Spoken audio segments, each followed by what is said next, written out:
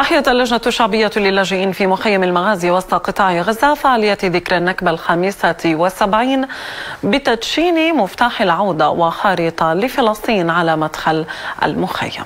مفتاح العودة هذا نبعث فيه برسالة إلى الاحتلال الصهيوني وللعالم كلياته. أنه لا استكانة ولا راحة بال لكم بدون إرجاع حقوقنا وعودتنا إلى ديارنا التي هجرنا منها في العام 1948